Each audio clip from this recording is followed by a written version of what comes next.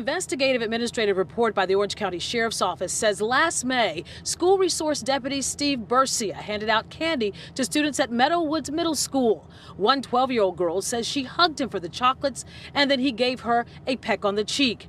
The girl told a friend, and when detectives interviewed her as to why, she said, Because I felt uncomfortable, because I never had another person kiss me on the cheek besides my mom and dad. When investigators interviewed the deputy, he says it was more of a reaction to somebody being grateful for something. There was no intent behind the kiss. Of course, it looks bad, it looks inappropriate.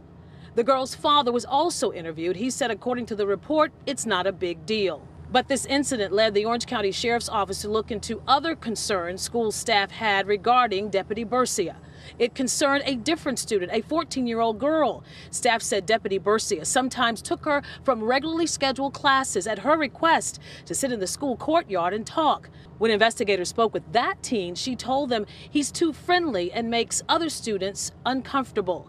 And that her friends say he's weird and want to know why he's always talking to her.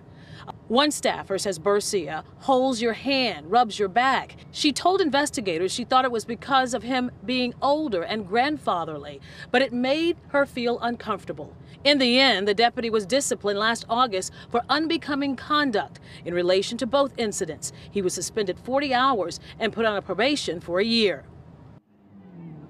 Deputy Steve Burcia is no longer with the Orange County Sheriff's Office as of March 31st of this year. He is 56 years old and he was hired by the department in May of 1998. I'm Gail Paschall-Brown, live in Orange County for WESH 2 News.